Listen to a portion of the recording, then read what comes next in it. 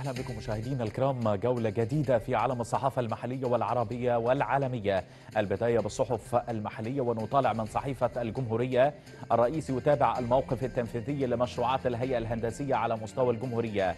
السيسي تطوير الأضرحة بشكل متكامل يتناغم مع الطابع التاريخي والروحانية الالتقاء الشامل بالخدمات والمرافق المحيطة بمواقع الأضرحة.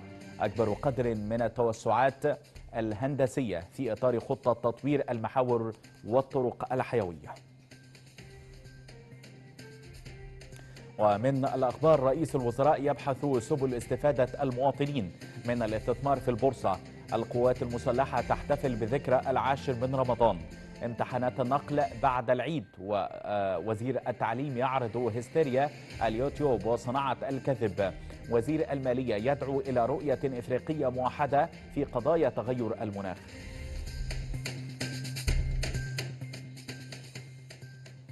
ومن اليوم السابع سيناء تودع صوت الرصاص وتستقبل الأهالي العائدين إلى منازلهم. عودة الحياة للقرى المتروكة بسبب الإرهاب. والأهالي أبطال الجيش الثاني الميداني مقاتلون من طراز خاص درع وسيف وأدوات للتعمير والبناء. الصحة تحذر من التهاون في الإجراءات الاحترازية للحفاظ على انخفاض الإصابات. حسام عبد الغفار ما يقرب من 32 مليون شخص حصلوا على جرعتين من اللقاح و2 مليون تناولوا الجرعة التنشيطية. ومن الأهرام مدبولي خطط طموحة لجذب الاستثمار الشيوخ يوافق نهائيا على التأمين الموحد. الاتحاد الأوروبي مصر تستطيع قيادة المنطقة في الطاقة المتجددة. وزيرة التضامن 70 مليار دولار خسائر الإرهاب عالميا. اتحاد الكرة يحسم هوية المدير الفني للمنتخب اليوم.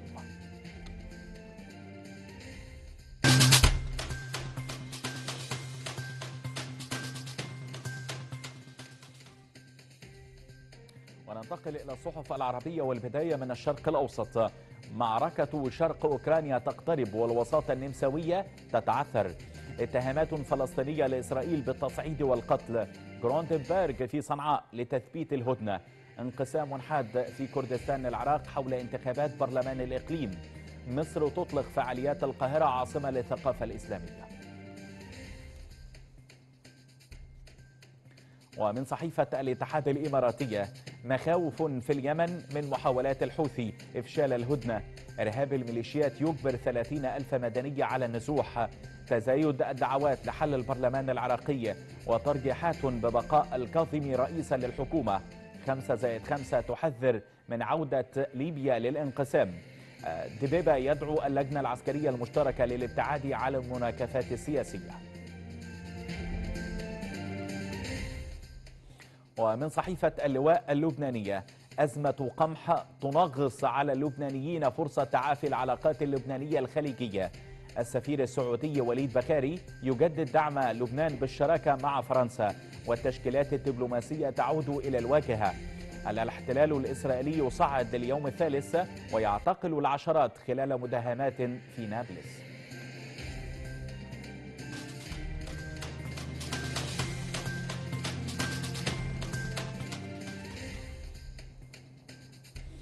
ومن الدستور الأردنية أربعة شهداء خلال 24 ساعة وتصاعد المواجهات مع الاحتلال بالضفة. بينهم عشرة في جنين و40 شهيدا بالضفة والداخل منذ بداية عام 2022 15 دولة أوروبية تطالب بسرعة تقديم المساعدات المالية للسلطة الفلسطينية. روسيا العملية العسكرية في أوكرانيا تهدف لإنهاء هيمنة أمريكا عالميا. فنلندا والسويد تستعدان للانضمام للناتو بحلول الصيف.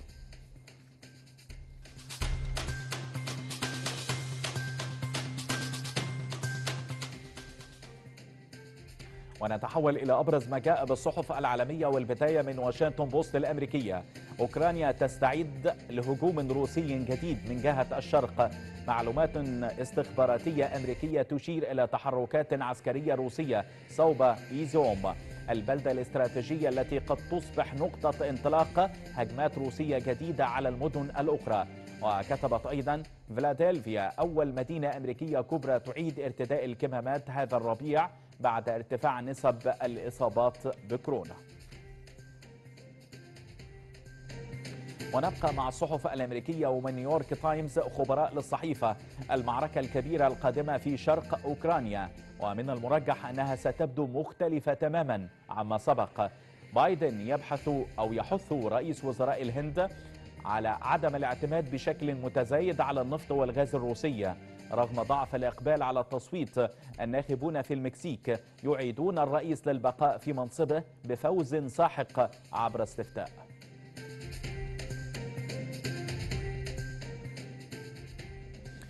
وإلى صحيفة الجارديان البريطانية الغرب يحقق في مزاعم استخدام أسلحة كيميائية في ماريوبول.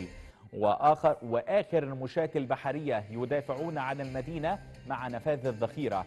ويقولون نواجه الموت والأسر مع استمرار الهجوم الروسي. السويد وفنلندا يمضيان قدما على طريق الانضمام إلى الناتو. البرلمان الباكستاني ينتخب شهباز شريف رئيسا جديدا للوزراء.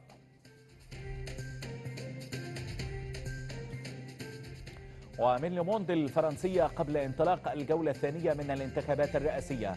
ماكرون ولوبان بين استراتيجيتين مختلفتين. ومنافسة الرئيس الفرنسي تريد أن تجعل من الاقتراع استفتاء ضده. في ألمانيا الحكومة تنقسم على نفسها حول مسألة تسليم الأسلحة إلى أوكرانيا والمستشار شولتس لا يزال يرفض إعطاء الضوء الأخضر.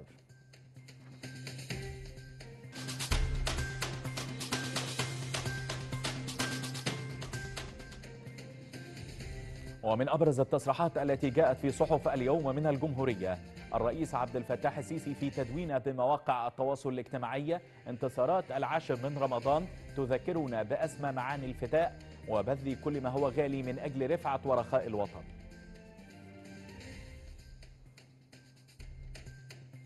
ومن صحيفة الاتحاد الإماراتية رئيس مجلس السيادة الانتقالية في السودان الفريق الركن عبد الفتاح البرهان ضرورة تبني الدبلوماسية لإحلال السلام والاستقرار بالسودان.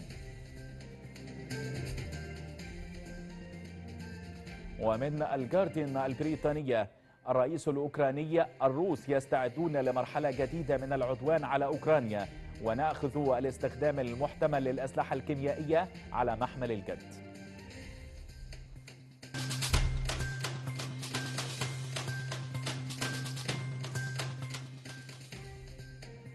وبعيدا عن السياسة نقرأ من صحيفة الخليج. حجر ياقوت ب 120 مليون دولار يظهر في دبي.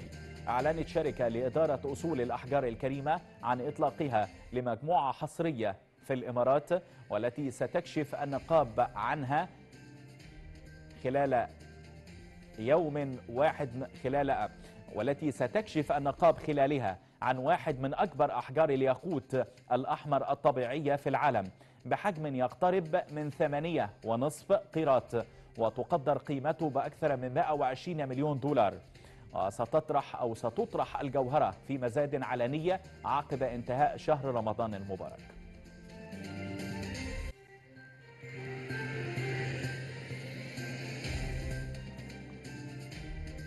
ونتابع من ديلي ميل البريطانية أكدت دراسات أن الأشخاص الذين يتناولون المزيد من الأطعمة النباتية يميلون إلى أن يكون وزنهم أقل في المتوسط من أولئك الذين يتناولون اللحوم ومنتجات الألبان والبيض. إلى جانب ذلك فقد ارتبط استبدال البروتين النباتي بالبروتين الحيواني أيضا بانخفاض معدل الوفيات حيث أن الوصول إلى وزن صحي والحفاظ عليه يقلل من خطر الإصابة بأمراض القلب. إلى هنا مشاهدينا الكرام وصلنا مع حضراتكم إلى ختام هذه الجولة الصحفية. على رأس الساعة نتواصل في منجز جديد لأهم الأنباء في أمان الله.